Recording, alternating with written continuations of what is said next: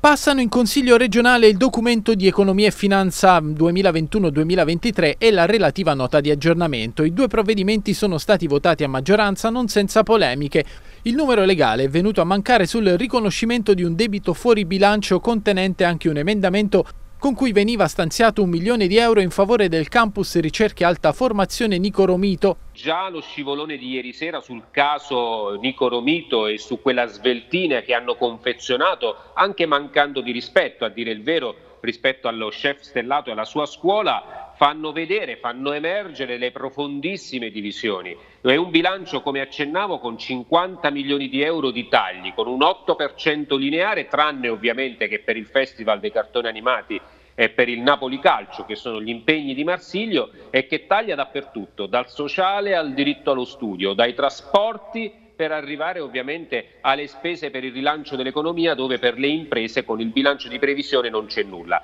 E aggiungo in coda che è un bilancio illegittimo, se non lo correggono verrà certamente impugnato perché addirittura con entrate incerte, probabili dicono, possibili, finanziano spese obbligatorie e questo è illegale, illegittimo, sarà sicuramente impugnato. In fondo anche una guerra tra giunta e consiglio. La giunta porta al consiglio un disegno di legge dove cancella gli uffici finanziari del Consiglio e cancella il potere emendativo dei consiglieri perché è rimesso a una valutazione, secondo la Giunta, emendamento per emendamento del Collegio dei Revisori. Prima del DEFR, l'Assemblea ha approvato la proroga del piano sociale regionale 2016-2018. Il documento di economia e finanza è passato con un emendamento presentato dal capogruppo di Forza Italia Mauro Febbo, con cui è stata definitivamente cassata la proposta di project financing per l'ospedale clinicizzato Santissima Annunziata di Chieti, risalente alla precedente legislatura. Eh, chiaramente è una, una, cornice dentro la quale la Regione Abruzzo poi creerà le scelte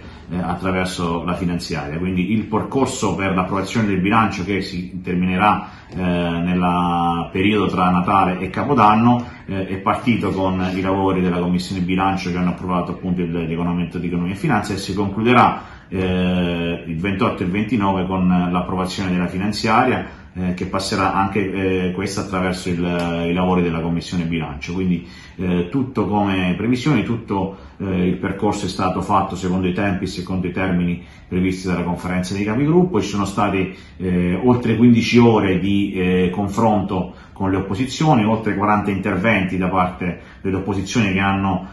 chiesto le addizioni degli assessori che si sono presentati in commissione e hanno spiegato tutte le dinamiche presenti all'interno del, del documento di economia e finanza regionale regionale, quindi eh, diciamo, non è stato strozzato nessun dibattito, anzi il dibattito è stato ampio nei termini, giusto e su questo noi siamo, siamo soddisfatti del percorso avviato fino ad ora.